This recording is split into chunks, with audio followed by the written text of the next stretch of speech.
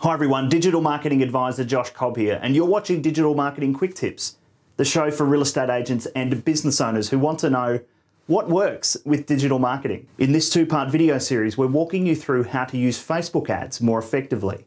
And on the last video, we spoke about the differences between boosting posts and running Facebook ads. If you haven't watched that video, pause this right now and check that out before jumping into these next steps. In this video, we're going to walk you through the steps of creating a Facebook ad and how to target people more effectively with your marketing messages on their platform. After setting up our Facebook ad account in the previous video, we're now ready to create our ad. Remember, you can navigate directly to your Facebook ad account from your Facebook page or go to facebook.com forward slash ads forward slash manager and click on create ad from within your ads manager dashboard. The first step in any marketing campaign is choosing an objective. What do we want to achieve? And on this screen, Facebook gives us a number of options. And depending on what you're promoting, Facebook will automatically optimize your reach depending on what you choose on this screen. So choose wisely. If you've just opened a new office, you may like to choose the local awareness objective to increase awareness for your brand by reaching people who are more likely to be interested in it and either follow your page or contact you. If you have a video that you would like to promote, maybe a market update video, an agent profile, or a stunning video of one of your listings, you may choose the video views objective to drive more views. If you have an existing post on your Facebook page that you'd like to promote to drive more engagement, you might choose the engagement objective to keep the conversation going. Or our personal favourite, if you have a listing or a blog on your website that you would like to promote, you'll want to choose the traffic objective. In our consulting work with some of the country's leading real estate brands, we've found more success with this approach from a business perspective than any other objective on Facebook ads. Simply because when someone leaves Facebook to consume information on your website, you have their full and undivided attention. This is extremely rare in today's digital environment, so I encourage you to try this objective yourself to see if you can do the same. Once you've selected an objective, give your campaign a name and click Continue. In this video, we're going to use the example of a new listing and the objective of driving traffic to that listing on our website in order to generate inquiry from interested buyers. In this objective, we're going to leave our traffic source as website and continue onto our audience targeting. Here, we can choose to place our ads in front of people based on their location, their age, gender, language, or lifestyle interests, which includes other pages or topics they might be following on Facebook. These filters are also available when boosting a post. However, when creating a Facebook ad, you have the ability to create a custom audience and target people who have already interacted with your brand. In this example, with our listing, we're going to upload a list of email addresses of every buyer in our database who has shown interest in properties similar to the listing that we're promoting.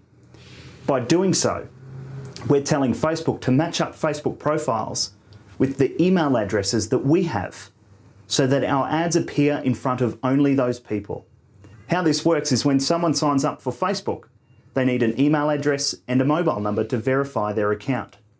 So if we have either of those two pieces of contact information, we can target our ads to people based on that information that they've provided to our business. You can either copy and paste your list of emails or mobile numbers into the box provided, or upload a CSV file containing the list of people who you would like to target with your ads. Give your audience a name, something like buyers from $900,000 to $1.2 million. This is so you can easily identify your list later if you choose to use that audience to target them again in the future. Another audience you might like to target is people who have already been to your website. This is called retargeting. You may have heard of it before. And it works by Facebook knowing that someone has been to your website and retargets them with your ads when they next log into Facebook. Before you can use this targeting, you will need to install a small piece of code on your website that will track your website visitors. You can either do this yourself by copying the code from within the same screen as creating your audience, or you can email the instructions to your web developer to install it for you. Once installed, go ahead and create a new custom audience for your website traffic. Choose which pages that those people have visited on your website, either every page, specific pages, such as pages that relate to your listings, or pick a combination of both or a custom combination. How long ago were they on your website? Give your audience a name so you can identify it later and create your audience. Once you've created your custom audience for your website visitors, you can now apply all of the regular filters such as location, age, gender, or interests. Now it's time to choose where we want to display our ads within the Facebook network. If you leave this set to automatic, Facebook will show your ads to the people based on where your ad is likely to perform best. This might include someone's newsfeed, the right column within their profile, their Instagram feed, Facebook Messenger, or the audience network, which displays your ads on approved third party websites where your target audience are browsing, and within certain games or apps on someone's mobile device. You may want to edit these placements depending on the type of ad that you're running. If you're using a video to promote your listing, for example, and the video runs for more than 60 seconds, you will need to turn off the Instagram placement because at the time of this video being created, you are unable to use videos longer than 60 seconds on Instagram. The next step before we start creating the ad itself is to assign a budget. A daily budget will spend up to that amount per day over the lifespan of your campaign. A lifetime budget does not apply a daily limit, rather a maximum you want to spend over the lifespan of your campaign. For our example in this video, we're going to apply a $250 lifetime budget for a 28 day campaign. As we start to play with our budget, you'll notice that Facebook is giving us an indication of how many people our ad is likely to reach each day. Increase your budget and you'll reach more of your audience each day. There is no right or wrong budget, and you need to consider what is right for you, as well as your clients if you're running ads to promote your listings. You may wish to play around with these settings below your budget selection. However, leaving these alone will be fine. Once you're happy with your audience targeting, your ad placements, and your budget, it's now time to move on to the creative side of building our Facebook ad. Firstly, you'll choose a format. And in our example here, we can use a carousel ad where our listing can be displayed with multiple images or videos inside a carousel. We can promote our listing using just one image. We can use a slideshow with 10 images in a looping video. Or we can create what Facebook calls a canvas ad, which is essentially a landing page with a mixture of videos, photos, and or text. At the time of this video being recorded, we're finding the best results with video. If you're promoting your listings on Facebook and have a video for the property, you'll likely see more reach with video. This could change in the future as more and more people start using Facebook's video platform, but right now, agents who are using video are seeing much better results than image-based ads. If you do decide to use an image in your ad, try not to use any text, logos, or watermarks on the top of your images. Facebook's algorithm is trained to detect this sort of thing in the images that you're using in your ads. And it will likely decrease the reach if you put too much text on your images.